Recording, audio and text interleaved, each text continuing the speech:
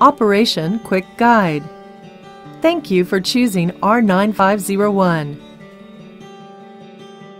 The software has three major functions Acquire View, Strip View, and Work View. The default user interface is Acquire View. Initial setup Acquire View. You can see and receive FPS values while you adjust the resolution and increase the exposure time on Acquire View. Then press the Preview button to capture the object. You can also adjust the lens to get the clearest image. After completing the settings, click the trigger button anytime or use the external triggering signal to store a series of images.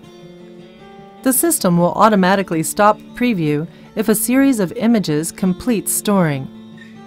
The user interface will display a message about the path and file name of a serial stored image. Then, the system will automatically switch to Strip View. Initial setup, Strip View.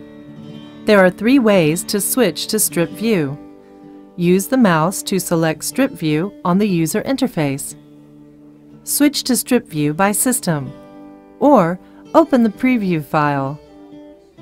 The major function of Strip View is to help the user locate a key segment from raw video and bitmap files. Switch from Strip View to Working View. The user can switch from Strip View to Working View by double-clicking within image thumbnails. Initial setup, Working View.